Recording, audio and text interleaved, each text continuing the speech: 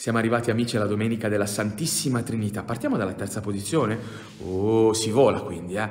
Non c'è due senza tre. Conoscete questo proverbio? Che vuol dire, diciamo che, so, un amico mi fa una sorpresa, mm. poi me ne fa un'altra, dico basta, no? Dico, si sarà stancato. Invece magari me ne fa un'altra ancora, non c'è due senza tre. È vero. Pensare che Dio mi ama non solo una volta e a tempo magari determinato, cioè dopo un po' basta. Non mi ama, ma se poi io sbaglio, se faccio delle cose sbagliate, smette di amarmi. Eh, non mi fa i regali, poi dici però basta, adesso basta, adesso, adesso li faccio a qualcun altro. Eh. No, dice Dio mi ama sempre. Dio mi ama sempre. La Trinità vuol dire questo, che è un amore che, che, non, che non finisce mai che mi avvolge, che dove mi giro c'è questo amore. È bello, no? Eh, mi giro di qua e e c'è, il padre, mi giro di qua e c'è il figlio, mi guardo dentro e c'è lo spirito. Mamma mia che bello, guardo verso l'altro e anche lì trovo Dio. Dovunque mi giro, sopra, sotto, destra, sinistra, più alto, più basso. Non c'è due senza tre. Veniamo alla seconda posizione. Quando ero piccolino andavo in una gelateria che metteva non un gusto, non due gusti, ma tre davvero tre, così, oh, eh, eh, era veramente per tutti i gusti, ecco no?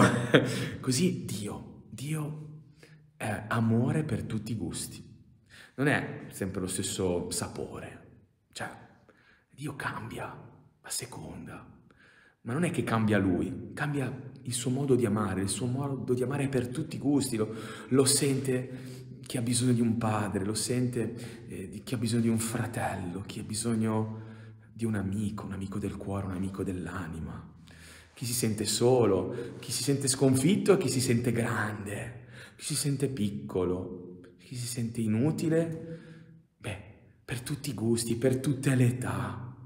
Eh, io quando ero piccolino Dio me lo immaginavo con la barba bianca che mi proteggeva, un nonno. Adesso lo sento il mio compagno di viaggio, di cammino. È ringiovanito Dio.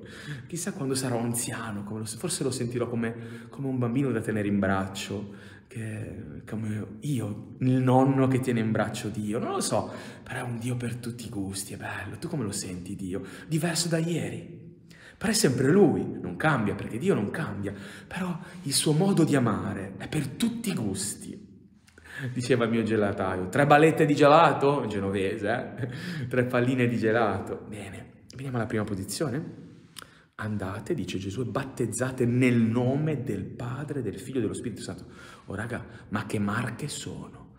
Cioè, ma non ci sono altro che Valentino, altro che Dolce Gabbana, altro che Armani. Noi siamo battezzati in questi nomi, in queste...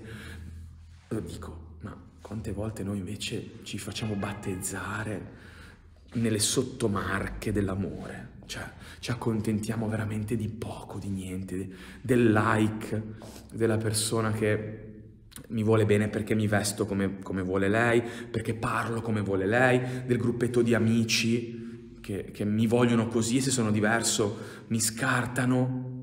Eh, mi lascio battezzare in esperienze sì belle, che però poi finiscono, eh, di esperienze belle ma che sono attaccate al mio portafoglio perché, perché pago per, no, per, andare in palestra, pago per fare questo, poi certo che sono battezzato, cioè immerso in, quel, in quelle storie, in quelle esperienze, certo, ma vuoi mettere, essere immersi, battezzati, appartenere a questi tre, Padre, Figlio e Spirito Santo. Siamo persone di marca noi, perché siamo battezzati in questi nomi che non hanno eguali in tutto il mondo. Sai quanto vali? Perché tu non sei vestito di marca, ma tu sei amato di marca. Sei dentro, fuori, dalla testa ai piedi, ancora una volta, sei tutto di marca perché sei tutto di Dio. Era la prima posizione. Buona domenica della Santissima Trinità a tutti.